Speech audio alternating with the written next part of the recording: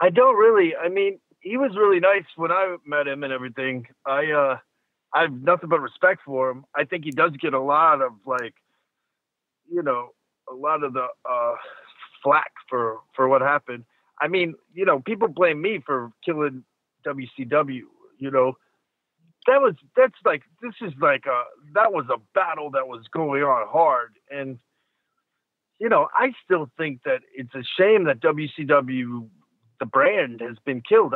I mean, even if WWE just owned it and kind of split it apart and used it as a a foil for themselves, you know what I mean? Uh, uh you know, because that's when it was always so fun when everybody got sort of when both of them were going. It was like a huge wrestling kind of moment where, you know, you have these two really large organizations that are competing.